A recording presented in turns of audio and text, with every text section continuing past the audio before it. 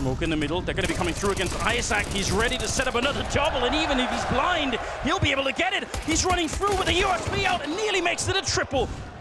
Bomb is on the other side, but he's done so much work here. Three versus four. Spray is excellent and right for the smoke. He's going to be catching jabbi as well, all on stavn. They don't have that much to work with Heroic. They've got to be real careful. Man, Gamer Legion has been surprising this entire